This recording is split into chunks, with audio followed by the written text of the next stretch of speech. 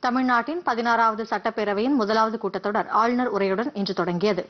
ஆளுநர் பன்வாரிலால் புரோஹித் இக்கூட்டத்தில் பங்கேற்று சிறப்புரையாற்றினார். அப்போது பேசிய அவர் அரசுக்கு ஆதரவாக வாக்களித்தோர் வாக்களிக்காதோர் என்ற பாரபட்சமின்றி தமிழ்நாட்டு மக்கள் அனைவருக்குமான இந்த அரசு எப்போதும் செயல்படும் என்று குறிப்பிட்டார்.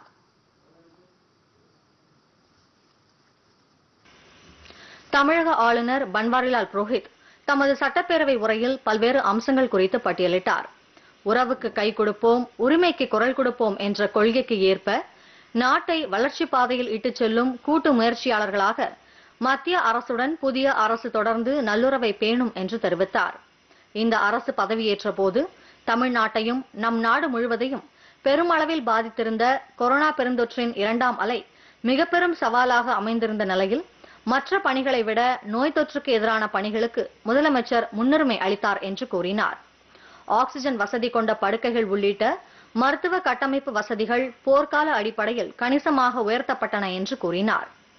பெருந்தொற்று பரவலை எதிர்கொள்வதில் அயராமல் தன்னலம் கருதாமல் பணிபுரியும் முன்கள பணியாளர்கள் அனைவருக்கும் அரசின் சார்பில் நன்றியும் பாராட்டையும் தெரிவித்துக் கொள்வதாக குறிப்பிட்டார். மாநிலத்தில் உள்ள இரண்டு கோடியே பத்து லட்சம் அரிசி குடும்ப அட்டைதாரர்களுக்கு இந்த நோய் தொற்று காலத்தில் நான்காயிரம் ரூபாய் நிவாரணத் தொகையாக மொத்தம் எட்டாயிரத்து முன்னூற்று தொன்னூற்று மூன்று கோடி ரூபாய் நிதியுதவியை வழங்கியுள்ளதாக தெரிவித்தார். அத்துடன் நானூற்று அறுபத்தி ஆறு ரூபாய் மதிப்பிலான பதினான்கு வகையான மளிகைப் பொருட்கள் அடங்கிய தொகுப்புகளும் தொள்ளாயிரத்து எழுபத்தி ஏழு கோடியே பதினோரு லட்சம் ரூபாய் செலவில் வழங்கப்பட்டு வருவதாக கூறினார். தமிழ் வழியில் பயின்றவர்களுக்கும் அரசு பள்ளிகளில் பயின்றவர்களுக்கும் அரசு பதவிகளுக்கான வேலை வாய்ப்பில் முன்னுரிமை கொடுக்கப்படுவதை அரசு உறுதி செய்யும் என்று தெரிவித்தார். தமிழ்நாட்டில் உள்ள மத்திய அரசு அலுவலகங்களிலும் பொதுத்துறை நிறுவனங்களிலும் தமிழ்நாட்டை சேர்ந்தவர்களுக்கு பணி நியமனத்தில் முன்னுரிமை அளிக்கப்பட வேண்டும் என்று மத்திய அரசிடம் மாநில அரசு வலியுறுத்தும் என்று ஆளுநர் குறிப்பிட்டார். The huge second wave of the COVID pandemic was the immediate crisis that engulfed the country and Tamil Nadu as this government. Assumed office immediately after the counting of votes.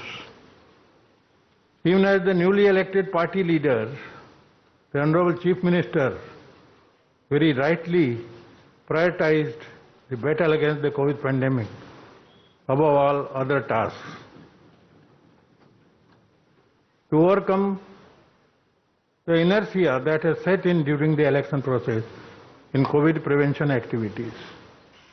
தற்போது தமிழ்நாட்டில் வழங்கப்படும் அறுபத்து ஒன்பது சதவீத இடஒதுக்கீடு தொடர்ந்து பாதுகாக்கப்படும் என்று கூறினார். தமிழ்நாட்டின் நிதிநிலையில் தற்போதைய உண்மையான நிலையை விளக்கும் வெள்ளை அறிக்கை அடுத்த மாதம் வெளியிடப்படும் என்று கூறினார். விவசாயிகளின் நலன்களுக்காக வேளாண்மைக்கென்று தனியாக நிதிநிலை அறிக்கை தாக்கல் செய்யப்படும் என்று ஆளுநர் குறிப்பிட்டார். உழவர் சந்தைகளுக்கு புத்துயிர் அளிக்கப்பட்டு மாநிலம் முழுவதும் அத்தகைய உழவர் சந்தைகள் அமைக்கப்படும் என்று கூறினார். நிலத்தடி நீர் பயன்பாட்டை முறைப்படுத்துவதற்கான புதிய சட்டம் இயற்றப்படும் என்று தெரிவித்தார். குடும்ப அட்டை கோரி விண்ணப்பிக்கும் தகுதியான அனைத்து நபர்களுக்கும் பதினைந்து நாட்களுக்குள் ஸ்மார்ட் கார்டு வழங்கப்படும் என்று கூறினார். சமூக நிலையிலும் கல்வி நிலையிலும் பின்தங்கிய மாணவர்களுக்கு நீட் தேர்வு ஏற்படுத்தியுள்ள பாதிப்புகள் குறித்து ஆராய நீதிபதி ஏ கே ராஜன் தலைமையில் குழு ஒன்றை அரசு அமைத்துள்ளதாக கூறினார். அரசு பணிகளில் ஆதி திராவிட மற்றும் பழங்குடியினருக்கான நிரப்பப்படாத காலி இடங்கள் சிறப்பு நியமங்கள் மூலம் நிரப்பப்படும் என்றும் பழங்குடியினர் சான்றிதழ்களை வழங்கும் செயல்முறை எளிமைப்படுத்தப்படும். தமிழக அரசுக்கு தகுந்த ஆலோசனைகளை வழங்கிட முதலமைச்சருக்கான பொருளாதார ஆலோசனை குழு ஒன்றை அமைக்க இந்த அரசு முடிவு செய்துள்ளதாக ஆளுநர் தெரிவித்தார். சென்னையில் உள்ள அண்ணா நூற்றாண்டு நூலகம் புனரமைக்கப்படும் என்று குறிப்பிட்ட ஆளுநர் எழுபது கோடி ரூபாய் செலவில் மதுரையில் சர்வதேச தரத்திலான நவீன பொது நூலகம் கட்டும் பணிகள் விரைவில் தொடங்கப்படும் என்று தெரிவித்தார். திருநங்கைகள் வேலைவாய்ப்பு பெறுவதற்கும் தொழில் தொடங்குவதற்கும் ஏற்ற வகையில் திறன் பயிற்சி அளிக்கப்படும் என்று கூறினார்.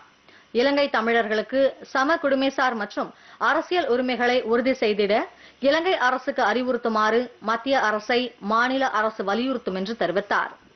ஒலிம்பிக் போட்டிகள் போன்ற சர்வதேச போட்டிகளில் அதிக பதக்கங்களை வெல்வதற்கு தேவையான உயர்மட்ட செயல்திறன் பயிற்சி ஊக்கத்தொகை போட்டிகளில் பங்கேற்பதற்கான பயணச் செலவுகள் ஆகியவை தமிழ்நாட்டை சேர்ந்த விளையாட்டு வீரர்களுக்கு வழங்கப்படும் என்று தெரிவித்தார். எல்லோருக்கும் எல்லாம் என்ற சமூக நீதி தத்துவத்தின் அடிப்படையில் அனைவருக்குமான அரசாக இந்த அரசு இயங்கும் என்றும் ஒரு கட்சியின் அரசாக இல்லாமல் மக்களின் அரசாக நடைபெறும் என்றும் கூறினார். அனைத்து மக்களும் சேர்ந்து எமது அரசு என்று பெருமையுடன் நெஞ்சு நிறைந்து சொல்லும் வகையில் இந்த அரசு தனது பயணத்தை தொடரும் என்று ஆளுநர் பன்வாரிலால் புரோஹித் தமது சட்டப்பேரவை உரையில் குறிப்பிட்டார் This government will be driven by the fundamental principle of social justice, everything for everyone, and s- will serve as a government for all. This will be a people's government and not a party's government. this government will govern in a manner that all the people in the state will be united in proudly and wholeheartedly proclaiming it our government. பின்னர் ஆளுநரின் ஆங்கில உரையின் தமிழாக்கத்தை பேரவைத் தலைவர் அப்பாவு வாசித்தார் ஆளுநர் உரையில் அரசின் முன்னோடி திட்டங்கள் ஏதும் இடம்பெறவில்லை என்று தமிழக சட்டப்பேரவை எதிர்க்கட்சித் தலைவர் எடப்பாடி பழனிசாமி செய்தியாளர்களிடம் கூறினார் திமுக ஆட்சிக்கு வந்தால் இல்லத்தரசிகளுக்கு ஆயிரம் ரூபாய் சிலிண்டருக்கு நூறு ரூபாய் மானியம் முதியோர் ஓய்வூதியம் ஆயிரத்து ஐநூறு ரூபாய் பெட்ரோல் டீசல் விலை குறைப்பு உள்ளிட்ட புதிய திட்டங்கள் ஏதும் ஆளுநர் உரையில் இடம்பெறாமல் இருப்பது ஏமாற்றம் அளிப்பதாக கூறினார். மேலும் நீட் தேர்வு ரத்து மாணவர்களுக்கான கல்வி கடன் ரத்து குறித்து ஆளுநர் உரையில் எதுவும் இடம்பெறவில்லை என்று கூறினார். இதனிடையே தமிழ்நாடு சட்டப்பேரவையின் கூட்டத்தொடர் வரும் இருபத்தி நான்காம் தேதி வரை நடைபெறும் என்று அறிவிக்கப்பட்டுள்ளது.